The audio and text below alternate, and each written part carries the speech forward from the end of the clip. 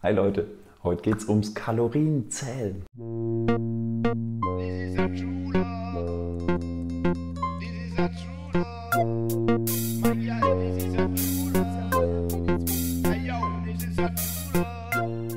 Kalorien. Das ist eins der Themen, die immer wieder auftauchen. Egal wo, ihr fragt immer wieder, wie ist denn das und wie decke ich meinen Kalorienbedarf und wie komme ich mit diesem, jenen auf so und so viel Kalorien. Ja, es taucht einfach immer wieder auf. Und es ist sehr stark konditioniert. Und ich möchte in dem Video zu einer neuen Art von Ernährung mal anregen. Über ein neues Bewusstsein beim Essen. Eine Dankbarkeit, die man entwickeln kann Zum Beispiel kannst du das nächste Mal, wenn du dich hinhockst und was isst, hast du einen Teller vor dir stehen, hast du was Leckeres stehen, hast du einen Apfel, hast du einen leckeren Salat, ein paar Feigen, was auch immer. Und du kannst dir jetzt bewusst machen, hey, wo kommt denn das her? Und dann stell dir mal vor, wie ist das gewachsen? Wie lange steht da jetzt schon dieser Baum? Seit 20, 30 Jahren trägt Äpfel. Und dieses Jahr, wie das Wetter war, erinnere dich mal, wie es geregnet hat, wie die Sonne geschienen hat und wie in diesem Apfel alles drinsteckt. Die Luft, CO2, das der Baum aufnimmt und was da alles drinnen steckt. Dann hat vielleicht jemand den Baum gegossen oder es hat geregnet. Die Wurzeln, die in der Erde stecken und da in Symbiose sind und wie viel Zeit und Energie in diesem Apfel steckt. Und dann hat ihn irgendjemand geerntet, hat ihn in den Laden gebracht, wo auch immer du ihn gekauft hast oder dir geholt hast. Oder du hast ihn direkt gepflückt, noch besser.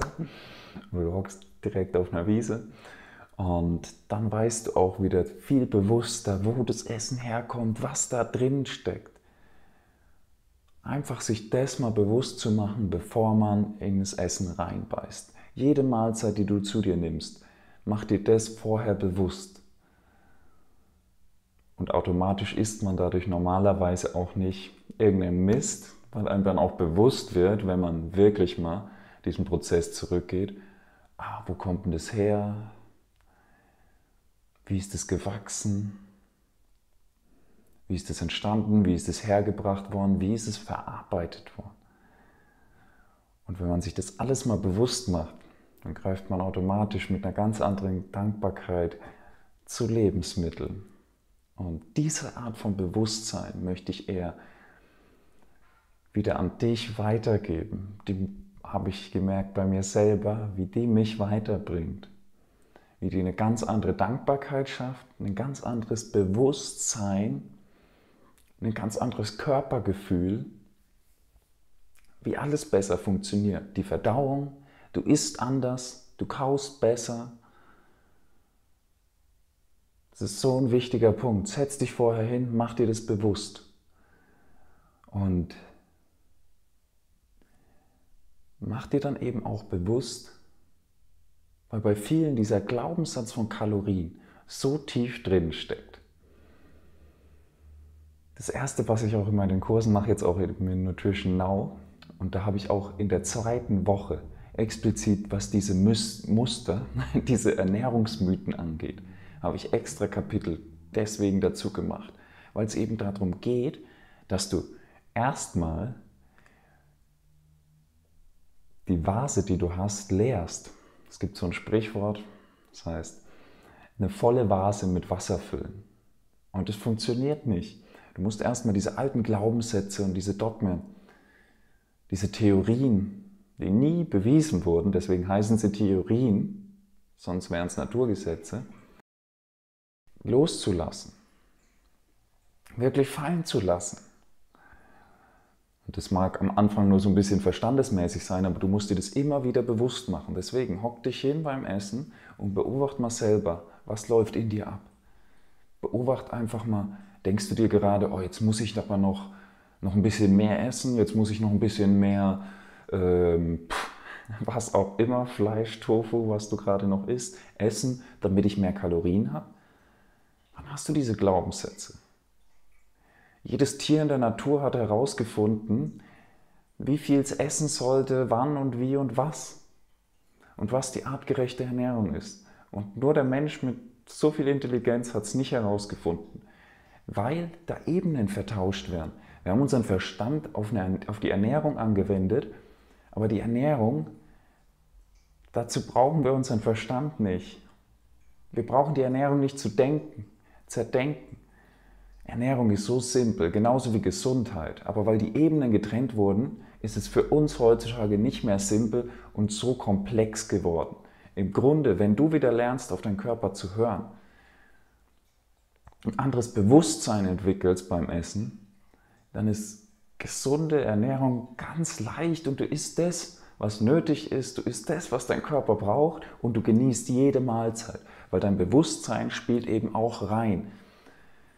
Es gibt auch diesen Japaner, falls ihr es noch nicht mitbekommen habt, ein Wissenschaftler, der Bilder von der Struktur vom Wasser gemacht hat. Und die Struktur verändert sich, je nachdem, welche Gedanken du da reinsteckst, je nachdem, mit welcher Information es gespeist gespeist wird. Und wenn du harmonische Musik, Wasser vorspielst, nimmt es eine harmonische Struktur an. Und das kannst du einfach auf den Fotos sehen. Ganz reell, ganz klar nachweisbar. Und dementsprechend, normalerweise Früchte haben mindestens 90% Wasser, Gemüse mindestens 70% Wasser. Und unser Planet auch, entsteht auch zu mindestens 70 Prozent aus Wasser, genauso wie unser Körper. Diese Parallelen kann man erkennen. So, und wenn du jetzt was isst mit dem Bewusstsein, dass das schlecht ist, dann ist die Struktur davon ganz anders. Es wird ganz anders von deinem System aufgenommen und verarbeitet. Die Information ist anders, weil 70 Prozent Wasser in deiner Nahrung sind, wenn du dich artgerecht ernährst, mindestens. Und dementsprechend Schau da wieder dieses Bewusstsein aufzubauen. Und das mit den Kalorien, das haut vorne und hinten nicht hin. Ein Buchtipp, den ich dir da geben kann, ist von Galina Shatalova. Das habe ich auch unten drunter. Der Affiliate-Link steht ja in der Infobox immer mit drinnen. Da habe ich auch ein paar andere Bücher, was die Ernährung anbelangt. Aber bei ihr, sie geht da explizit auf die Kalorien ein, hat da Versuche gemacht, Wüstenläufe mit Vergleichsgruppen, die weniger gegessen haben und dann trotzdem zugenommen haben. Und ich habe selber auch die Erfahrung gemacht, als ich mich schon komplett rohköstlich ernährt habe, da habe ich einen Unfall gehabt, Rollerunfall, ist mir Roller auf den Fuß gefallen und ich konnte da nicht laufen. Und zu der Zeit habe ich mindestens mich vier, fünf Stunden am Tag bewegt, Sport gemacht. Ich hatte auch manchmal Inliner-Kurse, wo ich sechs Stunden am Tag auf Skates stand. Und dann hatte ich diesen Unfall Vorher habe ich mich ganz normal eben rohköstlich ernährt und als ich den Unfall habe, immer noch, aber habe dann ein bisschen mehr gegessen, weil mir langweilig war. So, also ich habe mehr gegessen, gleichzeitig vier, fünf Stunden weniger Sport am Tag und was ist passiert? Ich habe abgenommen. Ich habe abgenommen, weil die Muskelmasse, die ich durch den Sport hatte, ist runtergegangen.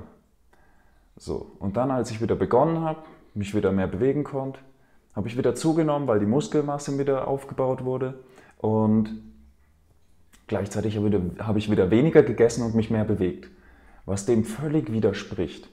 Aber du kannst dir mal vorstellen, kleiner Vergleich, wenn jemand jetzt mit so einem fetten Militärtelefon zu dir kommen würde und sagen würde, ey, guck mal, was habe ich denn da für ein cooles Handy? Und du denkst dir nur, was bist denn du für ein Depp, was ist denn mit dir los? Ziehst du dein Smartphone raus und sagst, ey, hier kann ich sogar meine Bankabrechnung machen und was weiß ich auf meinem Smartphone. Und schön klein, passt auch in die Tasche. Würdest den auslachen. Aber beim Körper machen wir genau den Fehler. Wir haben heutzutage in der Gesellschaft so ein Bild, Masse aufbauen wäre gut. Normalerweise, wenn dein Körper effektiv ist, dann baut er so wenig wie möglich Masse auf, weil er jedes Gramm rumschleppen muss. Er baut so viel wie nötig auf Und es ist gar kein Problem, Muskelmasse aufzubauen und Kraft aufzubauen. Aber er baut so viel auf, wie nötig ist, wie er braucht. Nicht mehr. Wenn du ihn optimal versorgst, und das wirst du feststellen. Und du kannst ja Versuche machen, zum Beispiel kannst du auch mal probieren, mit, wenn du nur Obst, aber dann dürfst du wirklich nur Obst essen, weil sonst funktioniert es nicht. Ess mal nur Obst, 5.000, 6.000 Kalorien am Tag, egal wie viel. Du nimmst ab. Probier es aus. Mach ein paar Wochen nur Obst, Mono, nur Obst, kein Grün, nichts anderes. Wirklich nur Obst essen, meine ich damit. Ess 5, 10 Wassermelonen. Ess deine 5, 10.000 Kalorien am Tag. Du wirst nicht zunehmen. Probier es aus, mach den Selbstversuch. Glaub mir nicht einfach. Wenn du mir einfach glaubst, dann bringt dich das nicht weiter. Mach die Erfahrung. Sag entweder du weißt es oder du weißt es eben nicht. Und wenn du sagst, du weißt es nicht, dann mach nicht die Annahme und sag, das stimmt oder es stimmt nicht. Glaub nicht einfach irgendwas, was dir jemand erzählt. Glaub nicht irgendwas, was ich dir erzähle. Mach deine Erfahrung. Prüf zum Beispiel so nach, wenn du möchtest. Du kannst es auf zig Wege. Wenn du eine Klarheit entwickelst, dann wirst du sehen, dass es so nicht funktioniert. Probier es einfach aus. Aber mach nicht die Annahme, dass diese Theorie stimmt. Mach deine Erfahrung und dann wirst du sehen, wie es funktioniert. Und bau lieber das Bewusstsein, diese Klarheit, diese Freude beim Essen auf und genieß das Essen wieder. Ohne dass du auf irgendwelche Kalorien achten musst. Du isst es, was dir gut tut, was dir schmeckt, was sich gut anfühlt. Und du entwickelst eine ganz andere Dankbarkeit dafür. Das ist das neue Bewusstsein in der Ernährung, das dich wirklich weiterbringt. Und das wünsche ich dir, das zu erfahren. Nicht dieses verklemmte Sorgen machen beim Essen. Beim Essen geht es um deinen Körper. Du solltest ihn richtig versorgen und du solltest dein Essen vor allem in erster Linie immer genießen. Natürlich solltest du dich dann für ein gesundes Essen entscheiden. Aber wenn du das Essen nicht genießt, das ist eine Grundvoraussetzung, dann solltest du nichts essen. Wenn du das Essen nicht genießt, ist nichts. Und was Ungesundes kann gesünder sein, wenn du es genießt, als was Gesundes, das du nicht genießt. Aber du solltest eben immer jede Mahlzeit, wie gesagt, genießen. Das sollte dich jetzt nicht dazu auffordern, was Ungesundes zu essen und genießen. Nein, du solltest einfach jedes Essen genießen und dich dann zu dem Gesunden entscheiden, zu dem, was förderlich ist für deinen Körper. Und das wünsche ich dir wünsche ich jedem. Und ansonsten war es das in dem Video. Ich würde mich über deine Meinung freuen. Schreib einfach einen Kommentar, was du davon hältst, was deine Erfahrungen mit Kalorien sind und was du für ein Bewusstsein, für eine Dankbarkeit jetzt schon entwickelt hast beim Essen. Mach's gut, ciao.